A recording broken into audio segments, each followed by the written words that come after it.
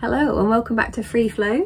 Um, in today's video we're going to do a little little 101, a little a little ditty on the follicular phase of the menstrual cycle. So um, if you've watched my seasons video you'll know I just love the word follicular so I might say that quite a few times throughout the video. Um, and today we're just going to explore a little bit like we did with the uh, menstruation phase video. We're just going to explore um, uh, ways that you might be feeling in terms of energy levels mood um, and yeah any movement that you might want to explore during this phase of your cycle um, foods things like that. So just a little kind of overview of things. And um, yeah, let's just dive in. So.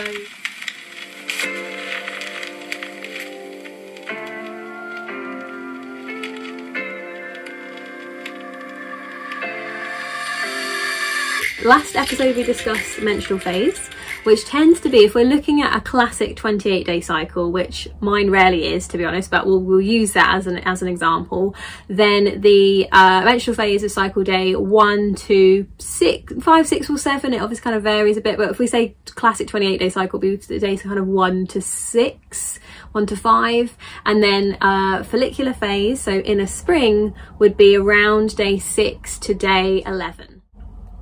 Obviously, we don't have to fit it exactly into that time frame, as I say, just working with kind of the classic 28 day cycles. So I'm kind of in that cusp today. I'm on cycle day six. Um, I had a disgustingly late light, late, late night last night, um, so I'm sort of feeling a bit spacey, but I can definitely feel the, uh, yeah, the kind of en energy rising a little bit here. So um, yeah, so follicular phase um, also corresponds to the waxing moon. Um, so if you're using the moon to chart your cycles um, as I spoke about in my uh, moon video um, then you could use the the waxing moon um, as this part of your as your you know as your cycle to kind of have that anchor to use the moon as an anchor um, and yeah and it also corresponds to inner spring. So again I mentioned that I think in the seasons video um, that is this just beautiful language that Red School um, have provided for us to yeah to kind of have these, these discussions. And I also feel like obviously the the way the energy levels are throughout the cycle also correspond really really well with the season. So I think it's just a good way to kind of remind us that uh, nothing in nature blooms all year round right? That's a quote that I always kind of remember. It's okay to have like time for some rest time for some movement. Time for yeah kind of slowing the roll a little bit. It's all it's all good. It's all good. Um so I've got my notes here as well. So if I look down just so I don't waffle. Um, and yeah, so follicular phase, inner spring, waxing moon. Um, I think a good descriptive word here is optimistic. I always feel a bit more optimistic um, in follicular phase. And um, last video I gave like a few descriptive words as well. And so I'm going to continue that trend in this video. And I would say my words for follicular phase would be playful, uh, teasing, no, playful, um, childlike, and uh, I did put that word, curious. Um, curiouser and curiouser. What's that from? Um, yeah, so I feel like those kind of, yeah, I think, I, I, think the way I described it many a time throughout the podcast as well, um, is that it's kind of, for me, it kind of feels like this little, this little hatchling, this little chick kind of just popping out of its shell, and just kind of coming out into the world. So there's kind of that like vulnerability. We've kind of been in this little egg, this little cocoon whilst we've been in the menstrual phase and then we're kind of ready to sort of peep, peep out and kind of explore the rest of the world a little bit. Um, so there is a there is a vulnerability in that as well, I think. And um, and I think also uh, one of the maybe one of the challenges for this part of the cycle and I will do some videos on kind of the the challenges and also the good stuff uh, in each part of the cycle. This is just kind of an overview but I do think that um, that yeah that kind of vulnerability uh, can be a bit of a challenge. And also just the uh, kind of holding of the tension. Um, I think like holding that tension to not like rush out into the world and do loads and loads of stuff um, because you kind of I think and you and you might find the same as well. I kind of noticed kind of cycle day three i sort of get a little bit of a peak in energy cycle day four um, and i maybe think that that's where sorry that might be where like the also just ignore my nails um that might be where the kind of estrogen is sort of starting to rise a little bit. Um and i think sometimes there's that yeah there's that kind of tension of like just not letting myself kind of run off loose and you know ready to create and do all the things um just to kind of you know to kind of pause um but yeah we i think myself and julia spoke about this quite a bit in um in some of the episodes of free flow as well especially when we explore inner spring. Um i think that's in season one and we might we might mention it again later in the in the seasons as well i think maybe in season three. So um yeah if you want to kind of look into that a bit more you can but uh, as i said i'll do some videos i think on the the kind of you know the pit, potential pitfalls of different phases of the cycle. Um so yeah we kind of have that rising energy um i think we kind of start to notice that. And um i think the the kind of the big um sort of strength here is plan. So I think I mentioned sort of daydreamy, uh, daydreaming in the menstrual phase, and I think for in a in a uh, inner spring follicular phase, really that that it just for me there's something that happens where I think the um, as someone that has ADHD, the kind of the rise of the estrogen kind of brings that um, that clarity, that little bit of focus, a little bit more happiness. It brings that kind of better um, cognitive function. Um, it's still not great because of the ADHD, but it does, it is better when the estrogen um, rises. I've noticed in, in my, uh, you know, years of charting.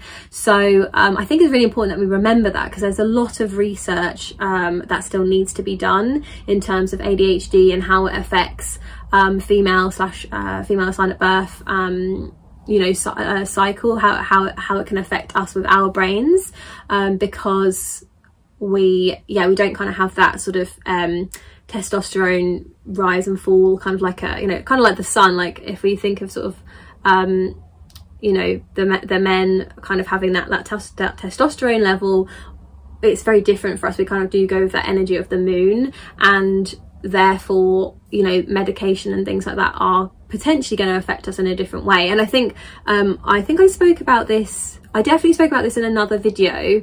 Um, i can't remember if that video is out yet so i think i might have mentioned it but really the um, maybe it was in the seasons video actually but i think with the estrogen when the estrogen rises my understanding is that um, that helps with the serotonin that word i can never say nor norepinephrine one day I'll remember to look it up before I start filming myself. But anyway, um, that one. And then also the dopamine. So I think the rise in estrogen helps to um, helps with like the brain kind of getting better access to that, to those chemicals.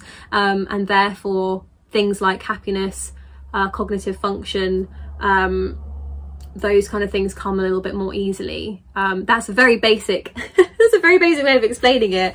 Um, and I think I did do maybe a, a more clear job of explaining that in um, the seasons video. And also my free download, um, the well at the moment it's free, that might change, but at the moment it's free, the um, PMDD, ADHD and me uh, survival guide. So I do speak about it in that as well.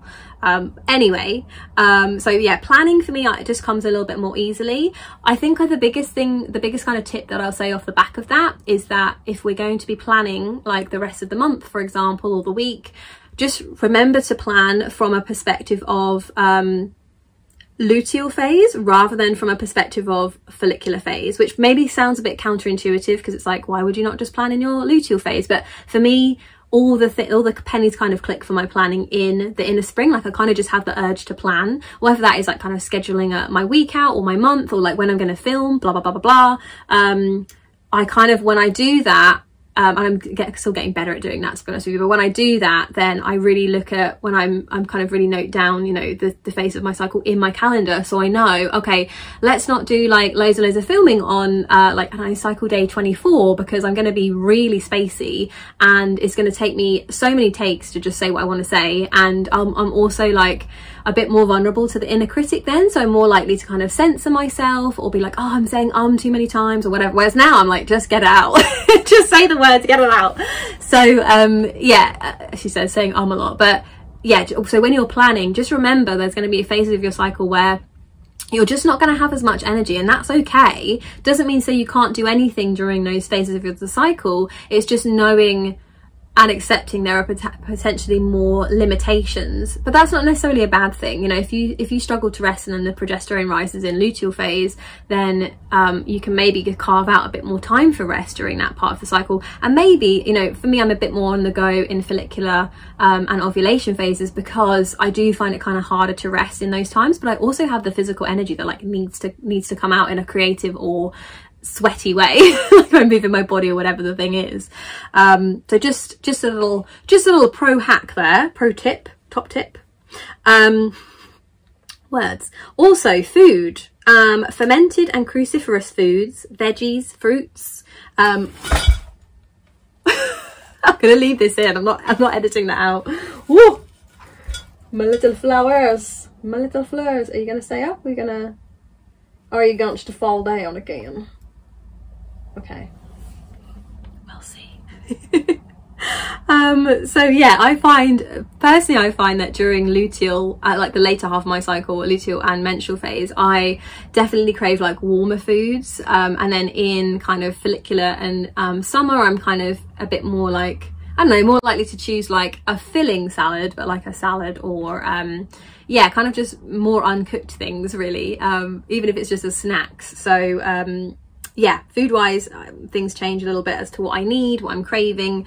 Um, there are lots of different uh, Instagram accounts and things that really kind of dive into the food side of it. I think a really good thing to do is just to kind of explore it for yourself. Um, I'm looking into it a little bit more as well, but I just say that because I'm not a trained like nutritionist and there are some really amazing accounts um, that are, and I can't remember any of them off the top of my head, um, but I'm sure if you have a little look, you'll, you'll find some. And um, it's not something I'll go into loads. Um, in terms of the food from a nutritional standpoint just because it's not like I say it's not something I'm trained in. I'm really the yoga and the meditation side. Yeah 100% um, but then I do also I'm really really quite obsessed with a lot of nutrition things. So I'll kind of just share you know some bits uh, as we move forward with some of these videos. Um, there's probably going to be some I don't know there might be some kind of like plan my meals with me or what I ate in a day luteal phase or whatever just to see just to see as as just as much of an experiment for me to see oh actually this thing really this thing really helped when I ate with my you know with my cycle. Um so yeah anyway i'm gonna waffle if i'm not careful. So um the i think the final thing i really wanted to touch on was exercise or movement um during follicular phase. So a HIIT workout really nice especially if you're kind of getting that rising energy and you sort of feel like a, you're not too sure what to do with it. I think having just a good HIIT workout can be really fun.